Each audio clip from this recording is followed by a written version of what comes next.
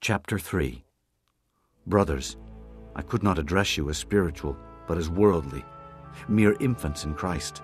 I gave you milk, not solid food, for you were not yet ready for it. Indeed, you are still not ready. You are still worldly. For since there is jealousy and quarreling among you, are you not worldly? Are you not acting like mere men? For when one says, I follow Paul, and another, I follow Apollos, are you not mere men? What, after all, is Apollos?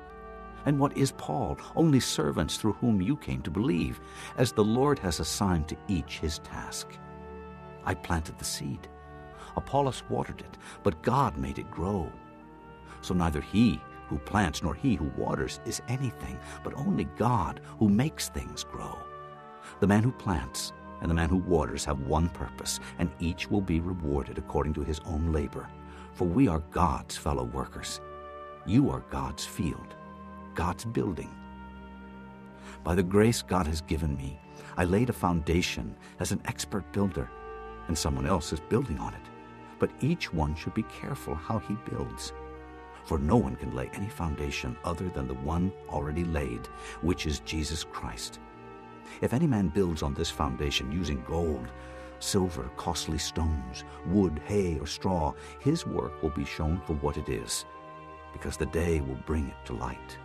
It will be revealed with fire, and the fire will test the quality of each man's work. If what he has built survives, he will receive his reward. If it is burned up, he will suffer loss. He himself will be saved, but only as one escaping through the flames. Don't you know that you yourselves are God's temple, and that God's Spirit lives in you? If anyone destroys God's temple, God will destroy him. For God's temple is sacred, and you are that temple. Do not deceive yourselves.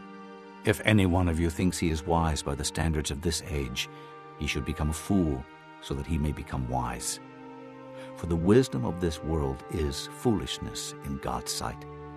As it is written, He catches the wise in their craftiness. And again, the Lord knows that the thoughts of the wise are futile. So then, no more boasting about men. All things are yours, whether Paul or Apollos, or Cephas, or the world, or life, or death, or the present, or the future.